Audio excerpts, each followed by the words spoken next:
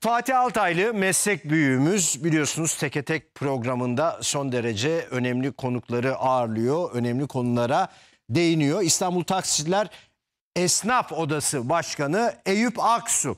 Yine teke tekte ağırladı e, Fatih Altaylı konuğunu ve hani deyim yerindeyse çok da sert bir tartışmaya girdiler. Çünkü yerden göğe kadar haklıydı Fatih Altaylı. Biliyorsunuz İstanbul'da 17.395 taksi var ve Türk vatandaşları bizler hiçbir şekilde taksi bulamıyoruz. Net.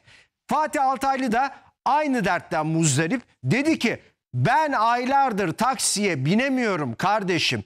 Kendimi taksicilere yalvaran bir köpek gibi hissediyorum dedi. Tabii bu serzenişi sosyal medyada gündem oldu. Yani sizin meslektaşlarınız artık bizi adam yerine koymadılar. Estağfurullah. Bakın şimdi İstanbullulara böyle köpeğe bakar gibi bakıyorlar. Ünlü gazeteci İstanbul'daki taksi krizinin tartışıldığı canlı yayında böyle isyan etti. Yemin ederim taksicilerin bana bir zavallı ezikmiş gibi bakmasından bir gün elime bir otur alıp bir taksinin camını kırmak istiyorum. Yani zor tutuyorum kendimi. Gerçekten zor tutuyorum. Gazeteci Fatih Altaylı'nın da moderatörlüğünü yaptığı Teke Tek programında İstanbul'daki taksi krizi masaya yatırıldı. Konukları İstanbul Taksiciler Esnaf Odası Başkanı Eyüp Aksu'yla İBB Meclisi Trafik ve Araştırma Komisyonu üyesi Gencay Özcan'dı. İhtiyacı olduğu zamanlarda hiç taksi bulamadığını ifade eden Altaylı sinirlerine hakim olamadı. için tarife boş, boş istiyorum. meslektaşlarınız Türk vatandaşlarını almıyorlar. Önümden bomboş geçiyor, almıyor.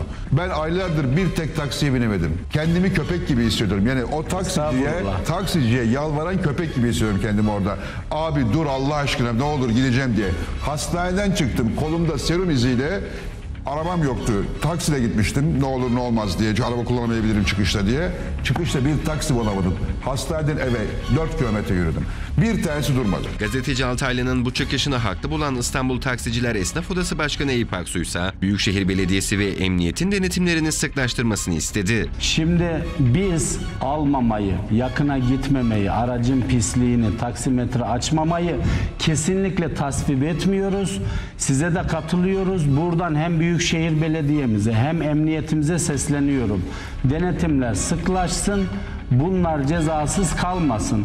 Sizi götürmeyen bir vatandaş Birinci de uyarı almalı, ikinci de ikaz edilmeli, üçüncü de kesinlikle meslekten ihraç edilmeli. Plaka iptal Biz edilmeli. diyoruz ki hayır iş yerini iptal edemezsiniz. Etsinler kardeşim. Adam gibi adama verin. Siz yanlış yapıyorsunuz diye Habertürk'ü iptal edemezler ki. Kapatıyorlar işte. Kapatıyorlar ama bir iki gün kapatırlar. O taksi Sinirlerine hakim olamayan Altaylı'nın bu sözleri sosyal medyada gündem oldu. Yemin ederim taksicilerin bana bir zavallı ezikmiş gibi bakmasından bir gün elime bir otur alıp bir taksinin camını kırmak istiyorum. Yani zor tutuyorum kendimi. Gerçekten zor tutuyorum. Şimdi- o kadar sinirleniyorum. Şimdi- Valla Fatih Altaylı duygularımıza tercüman olmuş ağzına sağlık.